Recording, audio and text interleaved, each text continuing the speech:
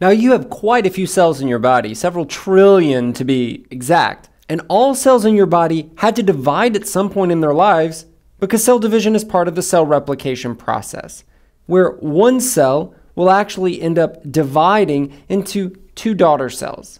And so, for us to understand how the DNA gets passed down to these daughter cells, we need to understand a bit more about this whole process in general. Now, we've learned already that every cell has 46 chromosomes arranged in 23 pairs. Each chromosome exists in a pair, and half that pair came from mom, and half that pair came from dad. Let's say I'm heterozygous for the trait of lactose metabolism. What this means is I have one chromosome with a dominant allele for lactase persistence, and I have another chromosome with a recessive allele for lactase non persistence. So this means that this cell and every other cell in my body is heterozygous. This means that every cell has one copy of the dominant allele for lactase persistence that has the ability to continue lactase expression into adulthood. If we assume that there's not any DNA duplication before cell division, how many chromosomes would each of these daughter cells receive?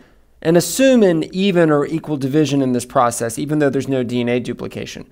Go ahead and put the number you think in this box here.